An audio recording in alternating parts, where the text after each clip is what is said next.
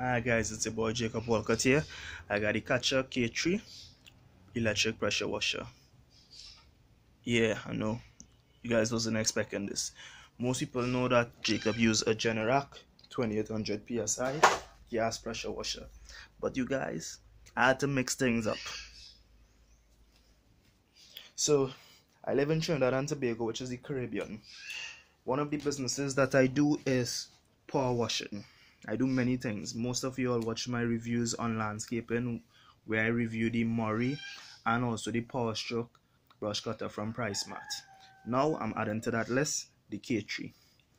Reason for getting this machine, I also do power washing of mats, rugs and carpet and to total around a big power washer to do a smaller rug, at times it becomes annoying. So I wanted something that's more easy to move around.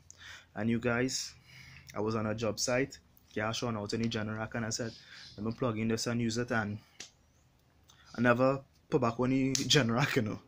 I must put it back on once, but this machine basically it has been working eight hours a day, sometimes six hours a day. This machine was constantly being used and short intervals it stopped it rested but most times it was working for at least six hours a day and this did a 30 hour work week last week and I do recommend this machine. I was power washing walls burglar proof concrete um, decking and this K3 it's unbelievable. You guys know I make reviews all the time so you all know I'm not exaggerating. This nozzle here is the turbo nozzle. This nozzle actually takes out the concrete faucets powerful. This is like the red blaster on my Generac or any other power washer the nozzle that they tell you stay away from.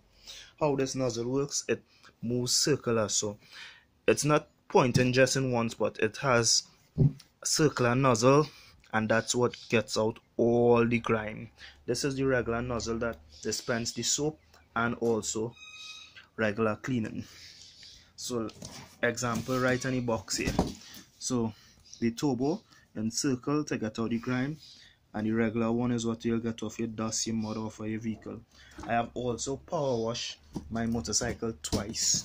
I clean the motorcycle twice get off mud and those type of things off of the machinery then spray it with the the detergent because there's also a detergent tank attached to the pressure washer. So quick run through on off switch here quick release to detach your holes your pressure holes.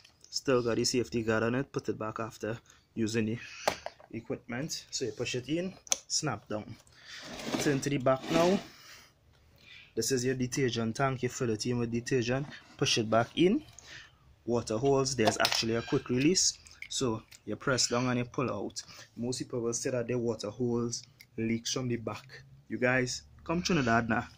We have something called thread seal. They wrap this around your gardening holes this eliminates the leak from your from your holes. Push it in press it back in. Your gun over here quick release. You pull down. When you pull down you slide it in then you push back up and you connect the holes to the two works with regular 110 there's no grung in this one as you guys could see. The reason why I didn't attach the top piece to the pressure washer is because I want it to be easily maneuverable, not four feet tall. I want it to remain a little about two feet and a half, you could say that is. So if I want to throw this in a backpack and put it in my back and go, I throw it in my backpack and go. This pressure washer could actually be lifted with one hand. So that's why I didn't add on the top part. So as I said you guys, this is a powerful little machine. I do recommend it I have been testing all types of equipment because some of the work I do is power washing, electrical welding and lawn maintenance. So most times you will see pressure washers, lawn mowers, welding plant on my YouTube channel. For those who like doing things around the house or you guys are in Trinidad and Tobago, you shop at PriceSmart. Most times I review many of the products right in PriceSmart like the hammer drill, the angle grinder and most of these products could actually be found on my YouTube channel So as I as I said, you guys don't forget to like and subscribe to my YouTube channel, Jacob Walcott from Trinidad and Tobago.